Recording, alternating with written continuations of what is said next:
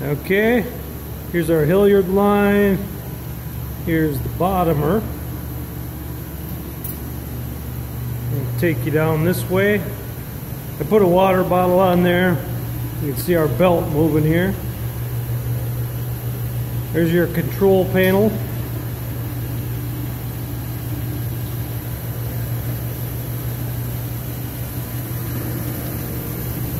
Here's your chain bringing the chocolate up. There's your enrober belt. Got the shaker going. Here we got a spinning bowl. Heaters running underneath.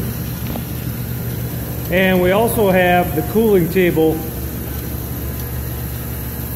hooked up over here. The cooling tunnel, excuse me.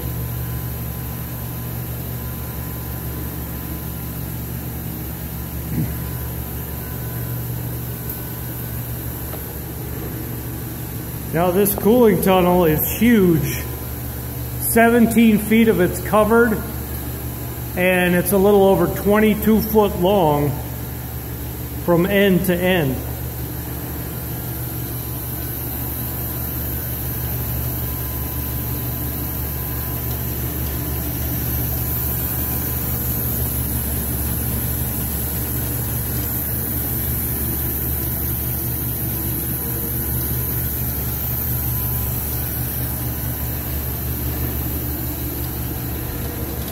That's a brand new trough and a brand new curtain on there.